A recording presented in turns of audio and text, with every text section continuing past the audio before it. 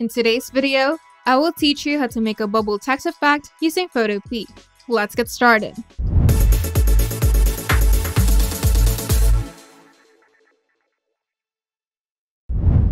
First, go to Photopea, then click on File, then New to create a new project.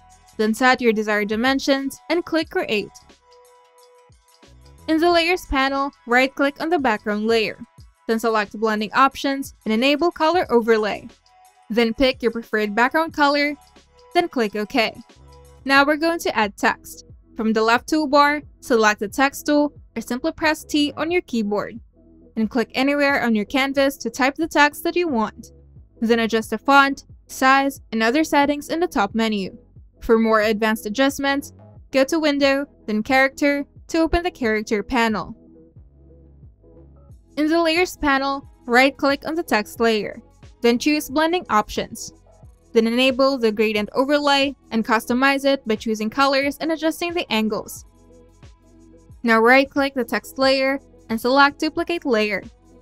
Then drag the duplicated text layer beneath the original text layer in the Layers panel.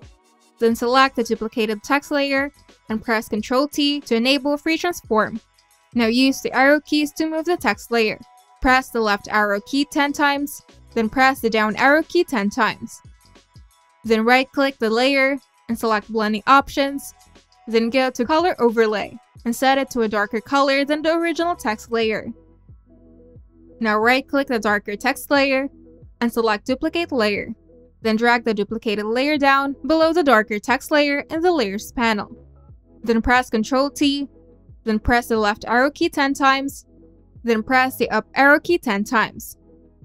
Then right-click the layer, select Blending Options, and enable Stroke, and change the size to 35 and choose a lighter color than the last text. Now, right-click the stroke layer and select Duplicate Layer, then drag the duplicated stroke layer below the previous stroke layer.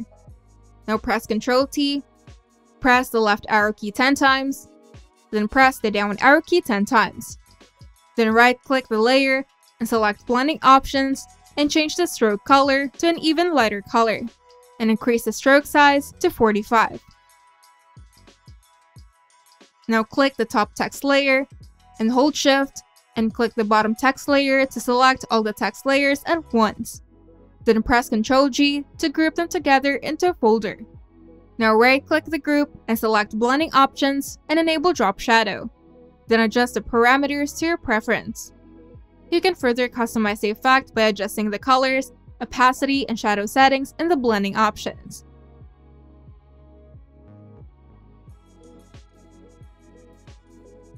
And your bubble text effect is now ready.